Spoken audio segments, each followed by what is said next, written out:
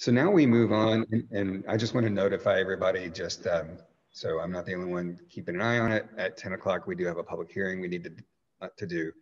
So um, just to keep an eye on that. We have Governor's Proclamation Genocide Awareness Month. Um, this month is Genocide Awareness Month um, as decreed by the governor.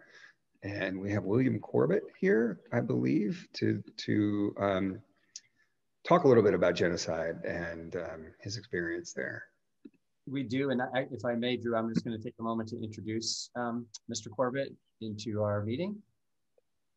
You okay with that? Aloha, uh, ladies and gentlemen. My name is Bill Corbett. Thank you very much for the uh, time to spend with you today. Uh, thanks for coming. And also, I want to say thank you very much, Miss Lane, for uh, leading us in the Pledge of Allegiance. I went into a small, low-grade panic when Mr. Cline said, we'll give the honors to whoever the furthest away is uh, coming at you from Honolulu, Hawaii here this morning. Uh, so thank you for sparing hey, uh, me being. Bill, let me just interrupt you for one second. I'm going to do a quick introduction just to kind of set the table before you jump in, if I may. And I have one question for you. Um, but we are excited to have, um, you know, William Corbett uh, joining us this morning. Um, and he has, uh, you'll, as you will see shortly, he has quite a depth of experience around this topic. Um, but we owe him a special gratitude, as he just pointed out. He's coming from us the furthest. For those of you who've traveled a bit, you know that it is not, you know, 10 o'clock in the morning in Hawaii right now. And so he is doing yeoman's duty by even being here. Um, but given that it was the uh, governor's, uh, you know, proclamation around April being uh, Genocide Awareness Month, uh, and keeping with the theme that we had in our last month's meeting of bringing some of these contemporary issues forward and making sure we're having conversation around them, um, we asked uh, William Corbett to share with us this morning. And so, William, just the one quick question I have for you. I've been given some slides that I can share, um, and you just need to let me know when you want me to put those up on the screen, and I will take care of that. Uh, thank you. Otherwise, the floor is yours, and thank you for joining us. Oh, thank you very much, Commissioner Edelblut, and thank you, ladies and gentlemen of the board.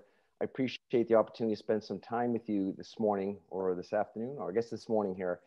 Um, yeah, I wanted to uh, spend a little bit of time talking about uh, the governor's proclamation, which was very fine statement about not only the importance of remembering uh, the Holocaust and genocide, but also uh, contemplating a little bit of not just the situation in the global span of what's happening in different places in the world uh, that are on what we call a genocide watch alert. But also there's some lessons that we can learn in our own communities about uh, what has happened in some of these terrible places. The, my entry into this was almost accidental. I'll, I'll share with you a, a very brief uh, story. When I was assigned uh, uh, as the FBI attache to our embassy in, in Nairobi, Kenya, I got a call one afternoon from the US Marshals asking me if I would assist them with an extradition. There was a, a, person being extradited from the United States to Tanzania. So I had to drive to Tanzania to render this person from the plane and, and deliver them to the prison. Pretty straightforward task.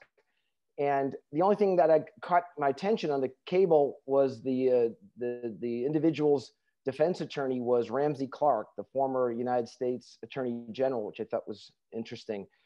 But uh, when I got to the airport and I got on the plane, the, uh, I was surprised to find a geriatric old man uh, sitting kind of rumpled in his seat. And, and in, in my broken high school French, I'd asked him if uh, he had all these things and we could go. And I had to explain to him that I had to handcuff him. And his only question was if he could bring his Bible with him at which point I had uh, said, sure, but I'm not, I'm, I do not think they're probably gonna let you keep it at the prison. But nevertheless, off we went. And at the end of that very brief 10 minute acquaintanceship, I, I bid him good luck and made my way back to the uh, embassy the next day rather uneventfully. But it wasn't until the political officer sort of mugged me and asked me what it was like and what the uh, gentleman was like. And they had a, a bunch of questions for me. And and Commissioner, if you could maybe just bring up that first slide. This is where I uh, had my introduction to who Elizaphan Ntakirutimana was and what his crimes were. He was essentially the, uh, the head of the Seventh-day Adventist church in, uh, outside of Kigali that uh, the church owned a compound. And in 1994, when the uh, genocide started, uh, his, his parishioners had sought uh, his assistance in helping them. They were primarily uh, Tutsis, and he was a Hutu. So he had encouraged all of them to um, uh, make their way to the compound where the church was. And little did they know that they were being lured to their death. And when there was no more room for any of these uh, refugees on the compound, Ntakirutimana went to get uh, uh, the Hutu mobs and had circled, uh, they were circling in their trucks, swinging their machetes and chanting to their soon to be victims. And uh, this title of the book that uh, Philip Gourevitch wrote was, comes from a letter that was found at the crime scene where one of the uh, murder victims had penned a letter to Ntakirutimana to say, it's not looking good for us here. We're, we're uh, in a very bad spot. But that person could never have known that uh, the person, the, the Ntakirutimana, was in fact the lead co-conspirator. That's what he was criminally charged for. Uh, and there's a next slide. If you if, if you see, that's actually the the uh, uh, International Criminal Tribunal in Rwanda where he was tried. And there's the uh, gentleman up there in the top right. Okay, Th thanks for the uh, slides, Commissioner Edelblut. Appreciate it. So this this experience that I had, it, it, reminded me of Hannah Arendt's famous aphorism that she gave the world, the banality of evil. This was, of course, her observation of seeing Adolf Eichmann when he was brought to a, a trial in, in uh, Israel, expecting to see perhaps horns and claws and fangs. She saw just a, a, an, old man who reminded her a lot of her uncle. And, and to think of the acts and deeds that he had authored in the horror, and yet in his personage, he seemed quite uh, ordinary. And, th- and that often is the case in these mass atrocities and uh, uh, genocides and these events, the architects, the authors, and even the perpetrators, they look very much like uh, the rest of us. There's nothing that stands out about them per se. And that can be a very eerie uh, uh, uh, reality to come to grips with. In my submitted testimony, I use this phrase the, that we, we call an overvalued idea in my 22 years or so with the FBI, I spent most of it with the counterterrorism division. And I spent about five years with this unit called the Genocide War Crimes Program. But it was really the counterterrorism division that took me to places like Abu Ghraib and Guantanamo and Bagram Prison and all sorts of detention facilities across Africa and the Middle East. And I spent countless hours sitting down with mostly young men who had uh, arrived there because of this radicalization that had caused them to see the world through this straw where initially the idea let's say in this case religious fundamentalism or religious extremism there's a kernel of uh, decency to that right? There's a virtue in wanting to live a, a, straight life and and but when that starts turning into piety and then you start disassociating with other people who don't have that same worldview and you start perseverating on this set of ideas and it's the first thing you think of when you wake up in the morning it's the last thing you think of at the end of the day and eventually you reach this point uh, uh, where it becomes almost your identity. And you, you can think of the analogy we think about say you know having a fit physique. That's something we should all celebrate and strive for. And maybe some of us might increase our exercise regimes some of us might start uh, dieting. Uh, but when we no longer hang around people who aren't in our health club, and this is what we're dedicating our life to, and eventually that if that path takes us on the sort of slippery slope where we're now we're fighting with eating disorders, this is the uh, insidious element of, of going too far, if you will. And, that, and that's the nature of this concept of overvalued ideas. Um, in the governor's proclamation, he talks about threats. And normally, when we consider threats, we, we refer to those as when intentionality meets uh, capability, these sort of two vectors, then when they join and they reach the stage, okay, well, that's something we need to contend with. But the threat here really is the uh, insidious nature of ideas and what happens when ideas creep into uh, our community and they take hold and can have real distorting effects. Uh, I, I, also teach out here at the University of Hawaii. I teach administration of justice one of the first things I do with my freshman class is we watch a New York Times documentary on what was the most expensive case that the United States has ever had a criminal prosecution. And you may be surprised to uh, hear that it, was actually against uh, the McMartin daycare. If uh, those uh, folks that are my age might remember in the 1980s, there was a rumor of uh, sexual abuse against the children at this institution. And you can imagine when parents hear that, light on facts, heavy on speculation on such an important issue, everybody became so invested that uh, they ended up pursuing this matter where they were literally imagining things that weren't happening. And uh, five years and years later, multi millions of dollars, it turns out really there was no evidence that was ever uh, substantiated or corroborated. It turned it turned out really that this whole episode was some bad investigating. There was never any any sexual abuse. The question is, how do we as a community sometimes become so deeply invested into something that, as we say, there's a, a kernel of purpose to it, but that kernel ends up sort of metastasizing. And maybe some of you might recognize what we're describing here. This is, this is what uh, South African sociologist uh, Stanley Cohen gave the term a moral panic. Uh, this was this is the idea that uh, if you maybe you think the shorthand of, of the Salem witch trials, where there's a phenomenon that's going on, it's something worthy of addressing, but when we throw facts out the window. We're just uh, pursuing something for purposes of emotion and intention. And rather than being guided by facts and science and reason, it, it becomes very much a, a slippery slope. I know that the, many of the issues that your board has to contend with is the idea of curriculum. And as we look at this last contentious year has showed us in terms of mobs and, and uh, overheated passions and sometimes reason being thrown out the window, it seems like this is a, a, a real important thing to consider as we're teaching our next generation uh, what ideas to accept, what ideas to re reject. I know uh, educators have a very important role in that.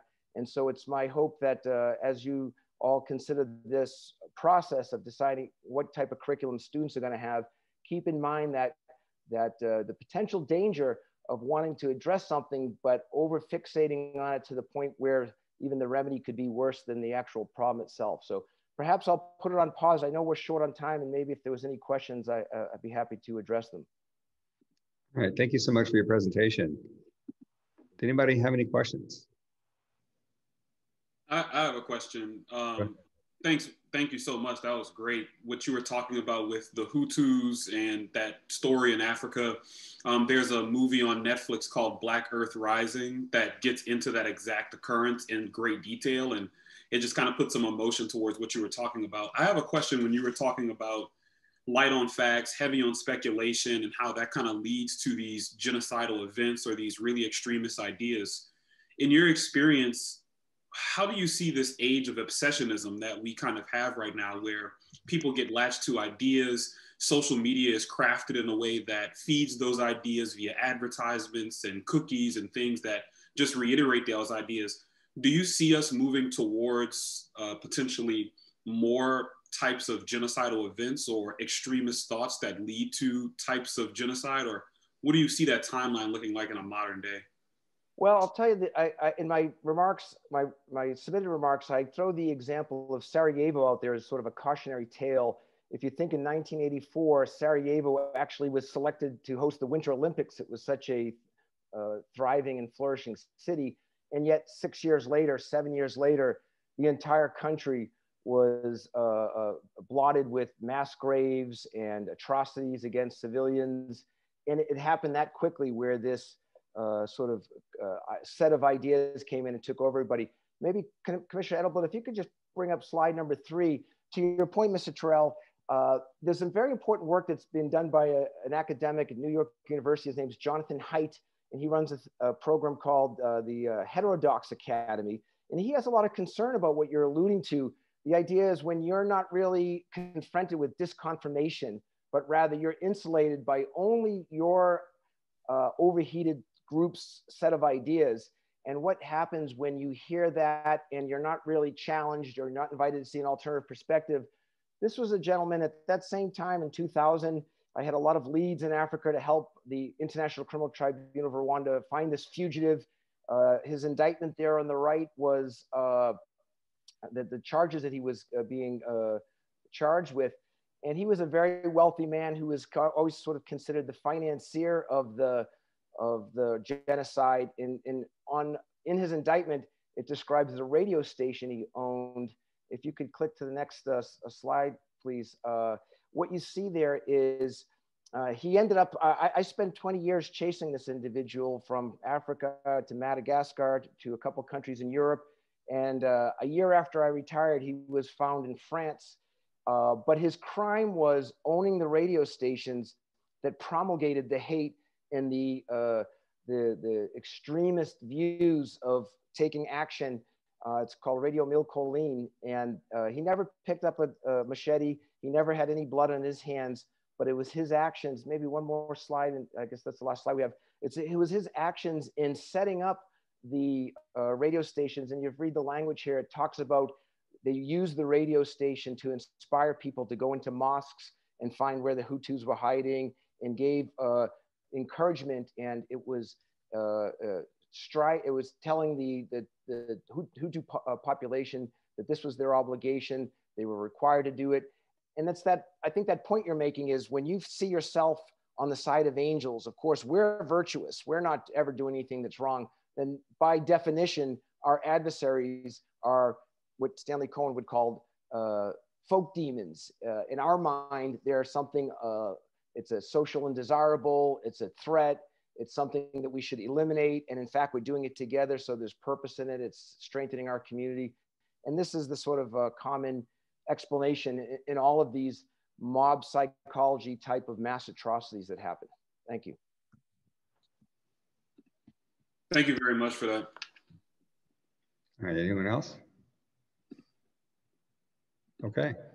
Great, thank you very much. I, I, my, my closing comment I would say is if there's one area of concern outside of our communities that we really want to look, I would really encourage everybody to check out a website called Campaign for Uyghurs, Uyghurs spelt with the U. It, it lays out uh, some of the atrocities that our State Department has designated as a genocide, and our corporations are still uh, aware of it, but they're not prioritizing the human rights component of our relationship with the People's Republic of China. It's a very important issue. It's not going to be going away. And again, as educators, it's something we want to keep our eye on. Thanks again for your time, ladies and gentlemen. All right. Thank you, Mr. Corbett.